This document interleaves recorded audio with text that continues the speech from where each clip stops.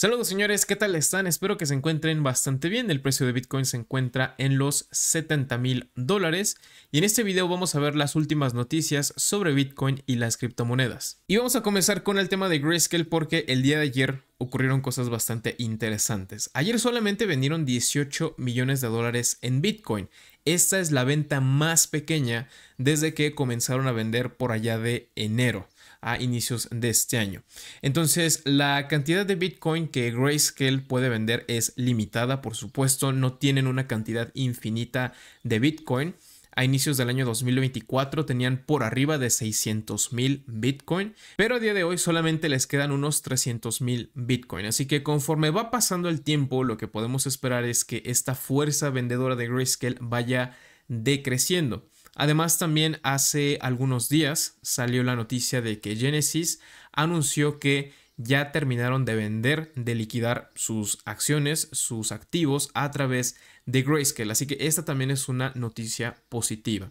Desde marzo 18, eh, ese día brutal en donde vendieron 642 millones de dólares en Bitcoin, hemos tenido una clara tendencia a ir vendiendo cada vez menos. Entonces, esperemos que podamos continuar con esta tendencia para que las compras que se están realizando en otros ETFs ahora sí puedan afectar mucho más al precio de forma positiva. Y bueno, el día de ayer salió el reporte de inflación de los Estados Unidos, un reporte malo puesto que la inflación vino más alta de lo que se esperaba y Joe Biden ha reaccionado a este reporte de inflación y dijo, bueno, quizá vamos a tener que posponer un poquito los recortes en las tasas de interés, pero no se preocupen, no va a ser por mucho, solamente va a ser por un mes. Además, Biden aseguró que vamos a tener recortes en las tasas de interés antes de que termine el año. Se supone que la Fed es una entidad independiente al gobierno, que ellos pueden tomar sus propias decisiones. Sin embargo, Biden pues no le interesa demasiado esto. Él ha tomado la decisión de que vamos a tener estos recortes en las tasas de interés. Evidentemente, motivado por cuestiones políticas, puesto que se acercan las elecciones y se ve bastante mal que durante su mandato tengamos estas tasas de interés tan altas, puesto que esto afecta directamente a empresas y a la población en general. Bueno, no importa lo que la Fed diga, nosotros vamos a tener esos recortes en las tasas de interés y no importa que tengamos un resurgimiento en la inflación más adelante, siempre y cuando voten por mí. Y bueno, el día de ayer tuvimos entradas netas de parte de estos ETFs. Reiteramos que Grayscale vendió muy poco Bitcoin, vendió 248 Bitcoin. Por su parte, BlackRock adquirió 472, Fidelity tuvo un excelente día con 1082 Bitcoin, ARK 104 y Bitwise 349, dejándonos con una entrada neta por 1700 Bitcoin aproximadamente. Mi vecino acaba de poner música y además está cantando, espero que no sea una molestia para ustedes. Bueno, aquí tenemos una gráfica visualizando las entradas netas a estos ETFs. Eh, lo cierto es que llevamos algún tiempo consolidando en este rango por arriba de los 200 mil Bitcoin, pero no logramos despegarnos más allá de 220 mil. Llevamos un mes esto es desde marzo estando en un rango. Entonces, realmente hemos estado un tanto estancados ahí y creo que esto también se traduce directamente en la acción de precio. Últimamente la acción de precio ha sido bastante lateral. Entonces, ahí podemos ver la correlación que hay entre las entradas a los ETFs y también la acción de precio.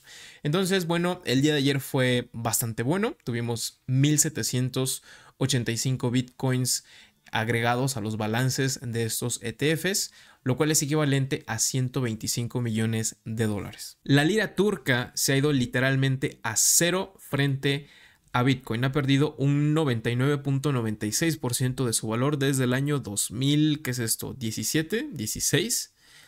En realidad todas las monedas se comportan de esta forma, es solamente cuestión de tiempo para que el dólar, para que el peso que estás utilizando se vea exactamente igual perdiendo este porcentaje frente a Bitcoin. Es más, de hecho, podemos retroceder en el tiempo y comparar el desempeño de estas divisas contra activos que son relativamente duros. No solamente contra Bitcoin, sino también contra el oro, contra el SP500, etc. Y las monedas se desempeñan exactamente igual, tienden a cero. Por eso es tan importante nunca ahorrar en dólares o en pesos, porque es como tener un cubo de hielo en la mano y esperar que no se derrita. Es algo que va a ocurrir tarde o temprano. Y exactamente lo mismo es con estas divisas que, por desgracia, están siendo devaluadas continuamente. Y hablando justamente de inflación, y voy a estar utilizando este término, aunque en realidad no está correctamente aplicado para Bitcoin, porque Bitcoin no es inflacionario, son 21 millones de monedas y se acabó, no hay más que eso. Sin embargo, el suministro se va liberando de forma paulatina, entonces para algunas personas es más fácil entenderlo como si tuviéramos una inflación. Bueno, a día de hoy, la inflación de Bitcoin, entre comillas, Bitcoin que va entrando al mercado, es de 1.7, 1.8 aproximadamente de forma anual. Si comparamos esto con el oro, recientemente hemos estado teniendo una inflación anual de oro del 1%. Normalmente estamos en un rango de 2% a el 1%. Ese es el rango usual para el oro en estos últimos 40 años. Sin embargo, una vez que venga el halving, Bitcoin va a ser más escaso, por así decirlo, que el oro, puesto que la inflación anual de Bitcoin va a decrecer a 0.85%. Así que por primera vez la inflación de Bitcoin va a ser menor a la del oro y conforme vayan pasando los halving, pues esta inflación va a ir disminuyendo todavía más. Ahora, la gran diferencia entre estos dos activos es que no importa qué tan caro sea Bitcoin, no puedes producir más.